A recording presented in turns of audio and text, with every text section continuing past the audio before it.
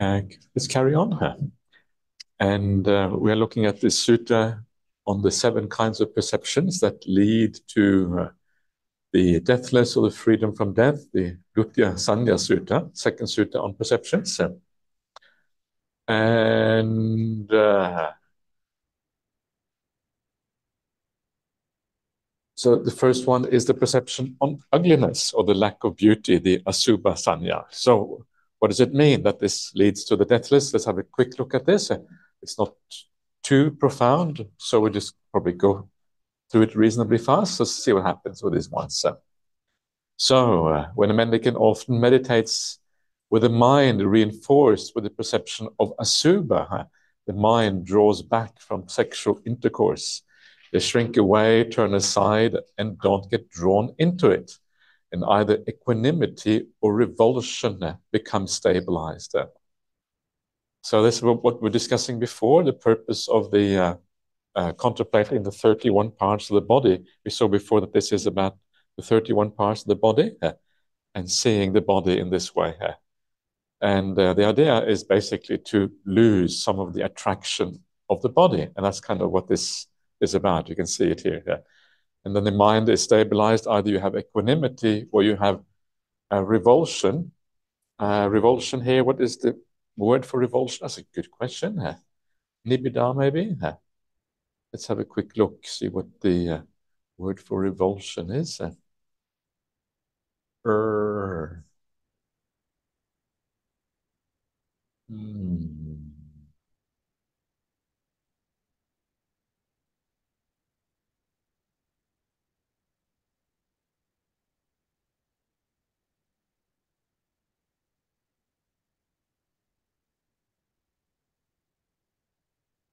Uh, Paṭikūla. Patikulyata. Okay, so this is like revulsion or, uh, um, yeah. So I think that's fair enough. Revulsion uh, or disgust is another word. So it's quite quite strong words. Either equanimity or disgust becomes stabilized. So that gives you a very clear idea what the purpose of these perceptions are. Yeah, to give up the opposite quality, basically the attraction to the body. That's basically what it is about. And uh, then uh, it says it's like a chicken, chicken's feather or a strip of sinew thrown in a fire. It shrivels up, shrinks, rolls up, and doesn't stretch out. Yeah, the idea like when you throw something like a feather or something towards a fire, it kind of turns back in a sense. It turns away from the fire. It shrivels up and turns back, rolls back in a sense. And this is like the mind. The mind just uh, turns away from something here. Same kind of idea. In the same way, uh, when a mendicant often uh, uh, meditates with the mind reinforced with the perception of ugliness, the mind draws back from sexual intercourse. If a mendicant often meditates with the mind reinforced with the perception of ugliness, but the mind is not, but the mind is drawn to sexual intercourse and not repulsed, they should know my perception of ugliness is undeveloped. I don't have any distinction higher than before. I haven't attained the fruit of development. And this may, in this way, they are aware of the situation. So uh, so this is a very kind of high degree of um, development of the mind. Yeah, it is where you lose all your interest uh, in the kind of the ordinary uh, pleasures of the world. Uh, so you kind of the mind recoils from anything to do with sexuality. And uh, that's just very, it's a very strong one. So if it's any remnant of that desire left, uh, you haven't really developed your mind fully in this way. The mind should really be equanimous about these things. And that is called then a distinction, a visesa when you get there. It's like you have overcome completely an opposing factor. And because you overcome something completely, it's a distinction of the mind. Uh, this is like the full development of something. Uh, that is a fruit of that uh, development. But these kind of things you have to be um, careful with. I wouldn't normally recommend these things unless you are a monastic and unless your meditation is going really well. I would recommend this sort of thing. And the reason is because the mind needs, you know, we need to find happiness in life. And we need to find happiness somewhere. And if you find happiness in meditation or the spiritual path, then great. Then you can overcome all of these other things and you can let them go. But uh, it's important not to live a life that is devoid of all sorts of joy and happiness. If you try that, uh, you're going to fail and you're going to have a miserable life on top of it. Uh, so don't recommend the miserable life. If you look at people like Ajahn Brahm, it's not misery is not the path. Yeah. this is kind of the, one of the things I like about Ajahn Brahm. He's like a, a salesman of happiness. Uh. and uh, so that is what he what he does. And uh, this is exactly the same thing we have here. And uh, you have this last little phrase here, the idea that uh, in this way they are aware of the situation. The Pali word is simply that they are sampajana. Yeah, we talked a little bit before about sati sampajañña, mindfulness and uh, full awareness or mindfulness and situational awareness. And uh, so here is quite clear what that means. It means you understand what is going on. It's not that you are aware at all moments, but you have an overall idea of what is happening. You know that you haven't really undertaken the full development in this regard. So, um, yeah. So I wouldn't be too concerned about this. I would just note it for now that this is one of the possibilities of meditation. So you are aware of what is possible to do. And then it goes on with the same thing again. This, this, this is very repetitive, this sutta. So, but if a man they can often meditates with the mind, reinforced with the perception of ugliness, their mind draws back from sexual intercourse. They should know my perception of ugliness is well developed. I have realized a distinction higher than before. I have attained a fruit of development. In this way, they have sampajañña. And they are aware of the situation. The reason why he so aware of the situation is sampajano. Yeah, situational awareness is um, Bhante Sujato's translation of uh, sampajana, sampajañña, sampajano. It's an unusual translation, but it is uh, acceptable, I reckon. So, okay, let's move on.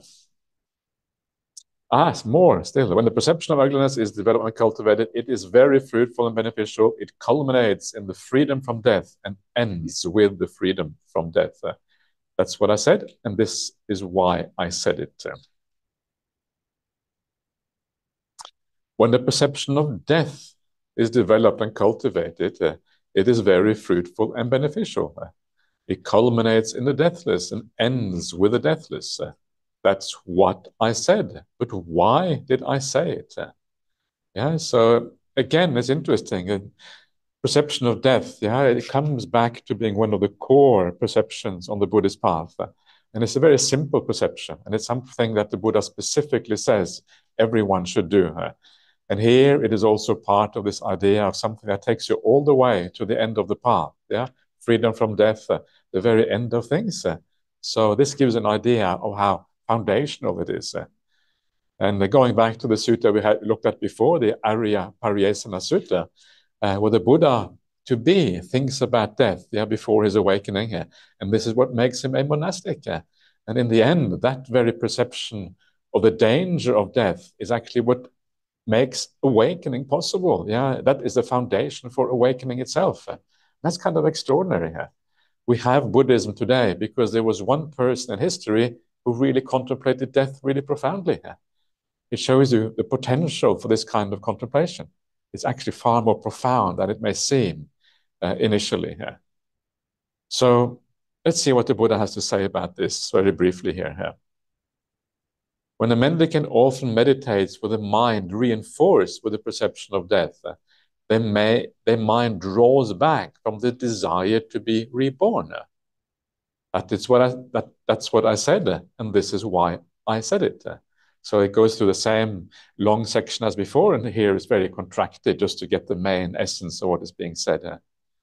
Yeah. So if you have a very strong perception of death, the um, withdraw from the desire to be reborn. The desire to be reborn here is the uh, what is it again? Jivita jivita nikanti, something like that. Yeah, the mind doesn't is not interested in in basically means life. Jivita actually means life. So you kind of lose your interest in life.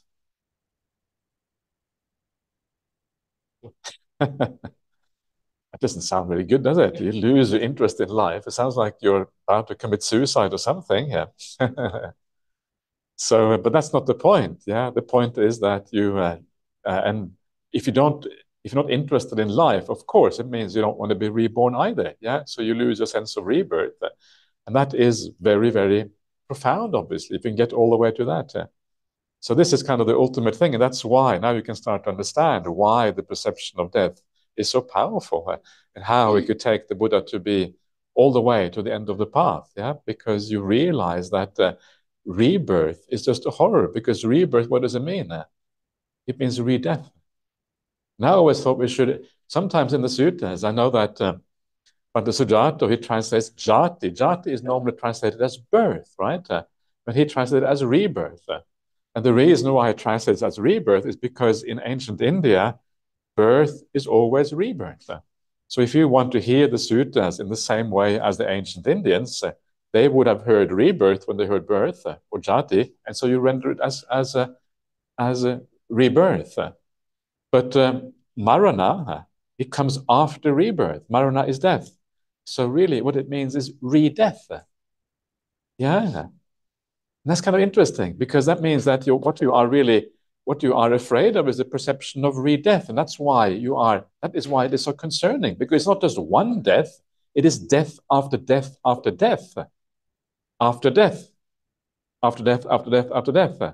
after death. And it goes on and on like that for a very, very long time. Eh? And that that, that is when it starts to kind of uh, become clear why this is so pro problematic. So it's re-death, it's re-old age. Eh? Yeah, maybe you think old age in one life is enough, but no. How many times have you done this? It's re-illness, re-sickness. Uh, yeah, it's re-being separated from everything that you are is dear and beloved to you. It is a continuation of all those really fundamental problems of life again and again and again and again. How many times do we want to die here? You know, and because dying is usually very traumatic and very difficult. Uh, you build up all of these attachments during life. Uh, death comes and it, everything gets challenged. Everything gets taken away from you. Every time it is traumatic. Every time it is difficult. Uh, so this is kind of when you start to see what is going on. So read death here is not actually not a bad translation because that brings out what the real issue is. Uh, it is not only one time. It is actually going on like this. Uh, and so this is um, uh, what comes out of this. So um, this is why, again, we try to do the contemplation of death. And what is so beautiful about it is that if you feel it is difficult to do the perception of death and it kind of leaves you sad and miserable, and please, please don't do it because uh, then, of course, it's counterproductive. Uh, but if you find death contemplation natural and easy, then please do it. And even if you find it difficult, try just a little bit. Yeah, not too hard, just a little bit, just to get used to the idea. You're going to have to die anyway. Yeah, and if you don't, if you reject that idea of death now, what is it going to be like when you ha actually have to do it? When you are there, it's going to be really hard. So the idea of getting used to this now actually is a very useful thing. So when you come to that point in your life, okay, you can chillax. Yeah, you can relax on your deathbed. You can say, okay, I'm ready for this. Yeah, I can deal with it. And the strange thing is that uh, the experience of death for most people, uh, we kind of think it's terrible, but if you are ready, uh, it's a nice experience. It's nice because you're letting go. Usually, come to the end of your life, your body is falling apart. Yeah, things are not holding together anymore. It's nice to get rid of all of this uh, dukkha at that particular point. Uh, and so you think, okay, I've had enough. You know, sometimes you meet people who are very older uh, and they will tell you, I've had enough. I don't want to go on any longer. Uh, yeah. You've seen that probably. Uh, yeah. And they are ready to die. And then, so that means the reason they're ready to die is because the body's become too much dukkha, too much suffering here.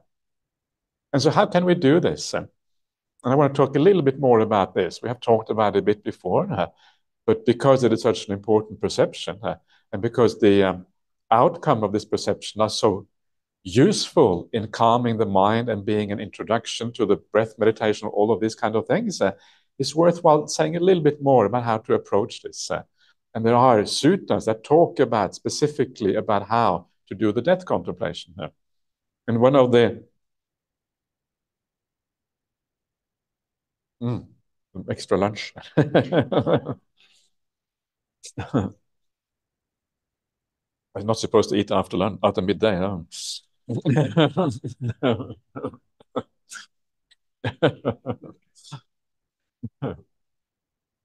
anyway, that is one of the loopholes you see in, in the Vinaya. Yeah, yeah.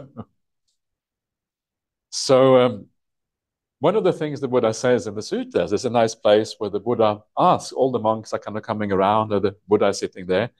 And then the Buddha asks them, how are, are you practicing the contemplation of death? Yeah, or there's two words for it, it's maranasañña, also maranasati. Maranasati means like the recollection of death. Are you practicing it? And then the kind of one monk says, Yes, yes, Venerable Sir, I am practicing it. Well, how do you practice it? Well, I think I think like this. I might die tomorrow. And the Buddha says, that's no good. Yeah, that is really bad recollection of that. Yeah, that's not good enough. Yeah, sorry. And then uh, this um, other monk says, well, I think like this, you know, that I might die in kind of before, you know, before the nightfall, yeah, during this, this day. And the Buddha is not impressed again, yeah. and then the next monk says, I think like this, I might die by the end of the meal. The Buddha says, not good, yeah, not good enough. Yeah. And then there's one monk that says, "Oh yeah, I think I might die. I, think, I guess I might die after the next two or three spoonfuls of food." The Buddha, okay, this is getting close. Yeah, this is kind of getting kind of in the ballpark. Yeah. And then the last monk says, "Well, I think like this. I might die at the next breath." And Buddha says, "Okay, good on you. Yeah, you are on the right track. That is the way you should think." Yeah. And so the idea of the death contemplation is to be ready to die almost at any time. I've been ready to die on the next breath. That's pretty hard, difficult to do. Yeah, I don't know if you can even begin to imagine that. It's really hard to imagine. it's hard, yeah, but I mean, if you can do that, of course, you have absolutely no desire for anything in this world. Everything becomes irrelevant. But if you can just have the feeling of that you're going to die in a week or today, yeah, later today, bring it very close. No idea, you know, what the future brings in, in many ways. If you can bring it that close and really feel that that possibility is not just a imagination, it's not just maybe it is the case, but no, one day it is going to be like that. One day it is going to be tomorrow. One day it is going to be later on today. Eh? And because it's going to happen one day, now is the only time to be ready for that. Eh? So what does it feel like? You put yourself in that position. Eh? What does it feel like that you're going to be dead maybe in one day? This is kind of the idea here. So right now, if I, tomorrow, I will be dead, what does that mean? It means I shouldn't worry too much about Bodhinyana Monastery. it means I shouldn't worry about very much at all, actually. I shouldn't probably worry, even worry about the even the, even here tomorrow, I shouldn't worry about that either. Yeah, I don't not, not that to worry about any of you guys.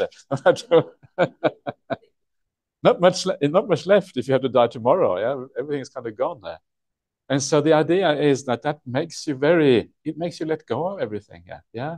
And that is actually a very beautiful position. You can see that, as I mentioned before, people on their deathbed who know what they're doing, they are really peaceful. Man.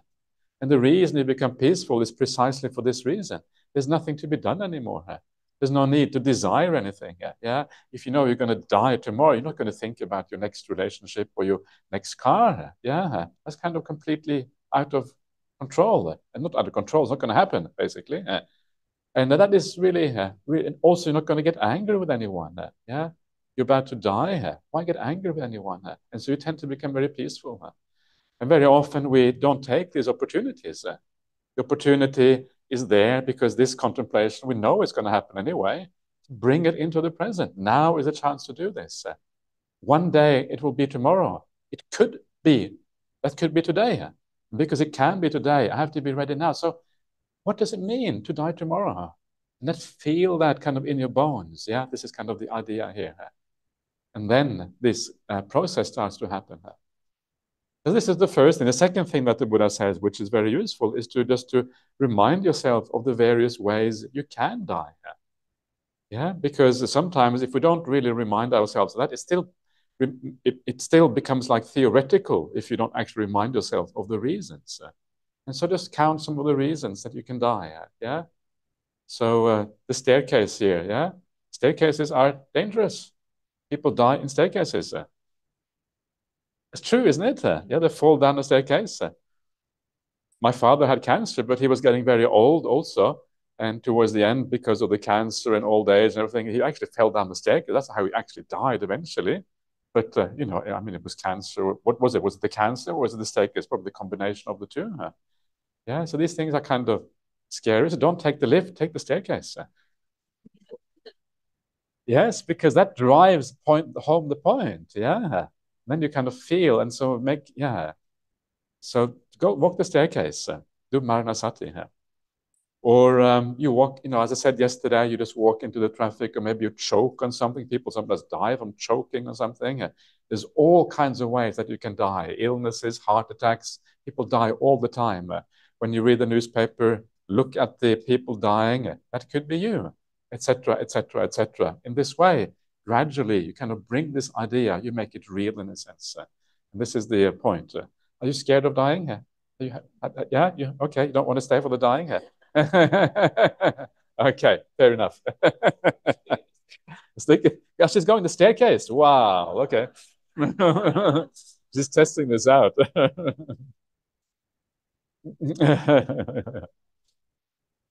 okay.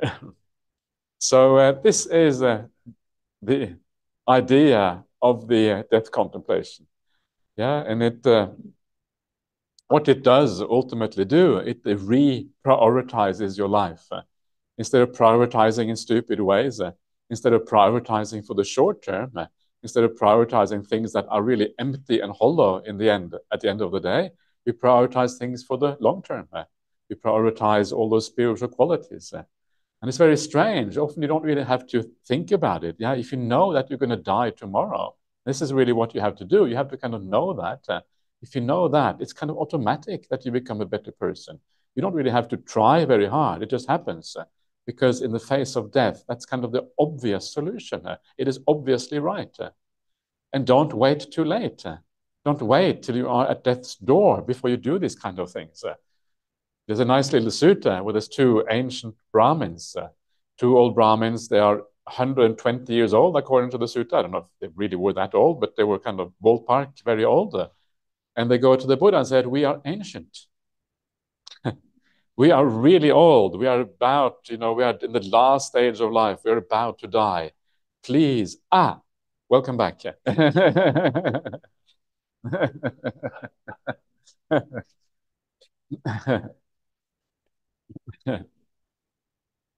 and they say, We are about to die. Yeah, please teach us the Dhamma so that it is for our welfare for the long, in, you know, for the long term in the future. And uh, the Buddha says to them, and this is kind of almost a bit sad in a way. The Buddha says to them, it's too late. Yeah, you are old already. You had the chance to live well, to do the right thing. You're asking me now. You're already about to die. you should have asked before. Yeah, you should have asked uh, five years ago or ten years ago, not when you are on death's door. That's too late. So please don't do, make the same mistake. Yeah, don't wait till it's too late.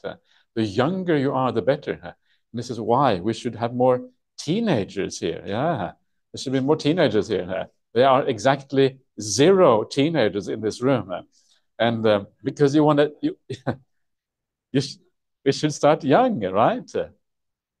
And so, uh, so we have one teen teenager. Young, younger, not teenager. Okay, so but still, still, so that yeah, so that's true. That's good actually. So I'm really happy to see you here actually. Bobby's daughter is here, which is great. So that's really that's wonderful.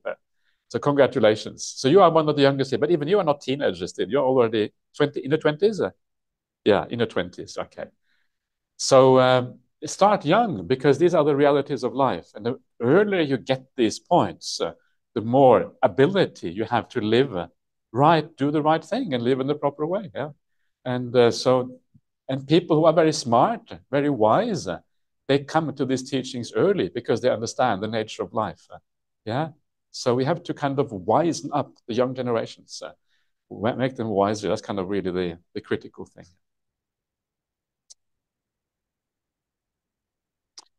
Okay, so uh, let's do a little bit of meditation.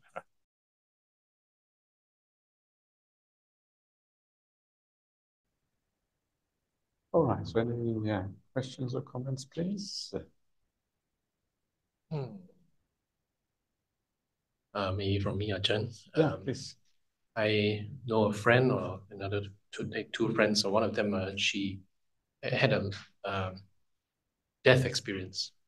So it was a boat accident on the, the, the sea when she was very young, and then she it, it capsized the yeah. families, and then she knocked her head on think the, the boat or something, and then she said she she left her body, and she went up, she looked down on on her own body in the water, and I think for her she described it as if time just just just stood still, mm. and she was saying that she reviewed her uh, her life. Yeah you know, one is like an album to show her all the good things, and the, the next album show her all the, the bad things she has done, including the money she stole when she was younger or cheated in class or whatever. So, so it became like this, and then of course, uh, then she she went back into her body, and and uh, then that you know that's it. She was rescued. Mm. Uh, I think she was saying that uh, the uh, that experience was that she she told us later, and she says that death was not painful.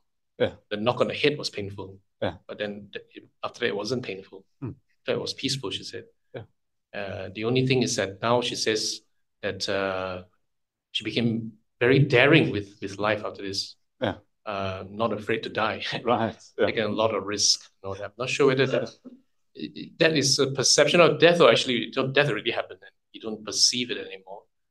You know, so for us, we are imagining an impending death, and we yeah. are trying to bring death closer. And some here, somebody who actually died and came back, and yeah. does it change their perception? Does it does it alter their oh yeah, the way they look at life and things like that? And how is that different from, or how how is that you know whether perception of death actually you know for us how, how does it work in that sense is still very much it's, it's a perception right it's a perception whereas compared to someone who actually went through that experience i think going going through it is uh, much more powerful and uh, much easier because actually you get everything in one go. I, you know, if you want to develop the perception of death, it takes a long time. It's very gradual. It comes over time, and uh, so it is more. Uh, but this in this way, kind of bang, it kind of happens. Uh, and they, I, I think that these kind of experiences are incredibly, incredibly useful.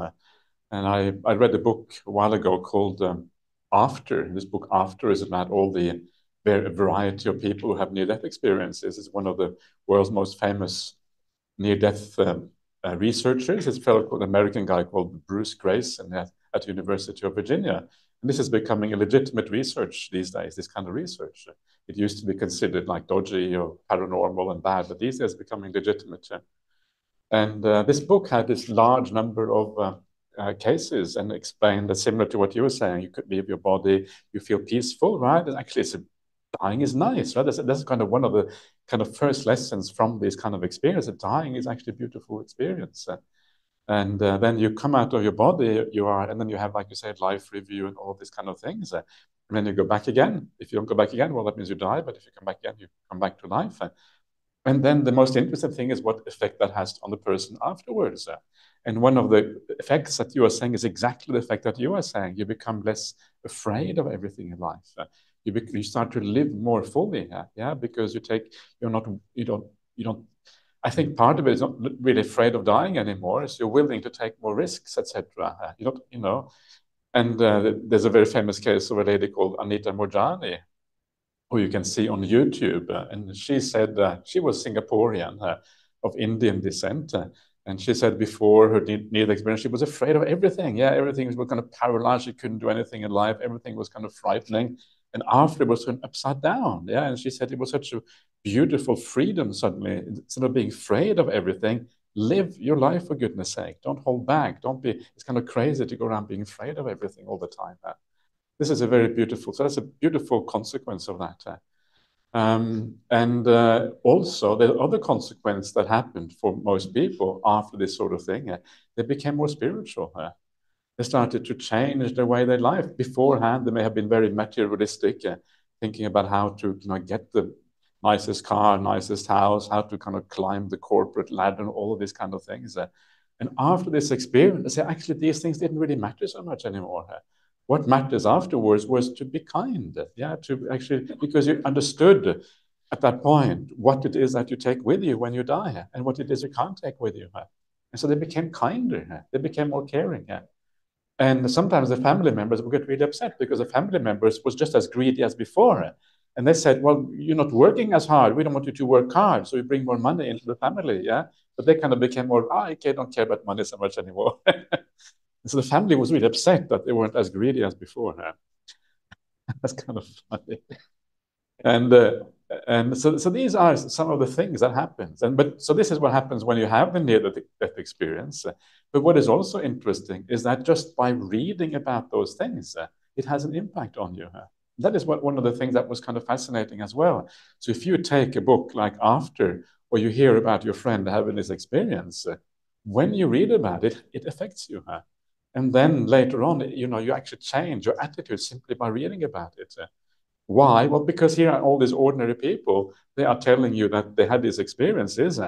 You can't avoid but believing in it. Why would all of these ordinary people lie? It doesn't make any sense, yeah? And so you start to think about life in that way, and you start to actually take on board some of the same lessons that they take on board. So I would argue, say that it's a good idea to read a book like that. So if you have a chance, read a book like After. Yeah, easy to easy book to read. The book has a very simple name after, and the author is called Bruce Greyson, G R E Y S O N. That's the name of the person, and uh, easy to get hold of. Uh, and uh, so that is, uh, yeah, that is kind of one of the ways of getting access to that. Or look at some of the YouTube videos like uh, Anita Moorjani. She actually gave a TED talk on her near-death experience, uh, which is kind of really, really nice. so yeah, so thanks for bringing that up, um, anyone. That's good. Uh, yeah.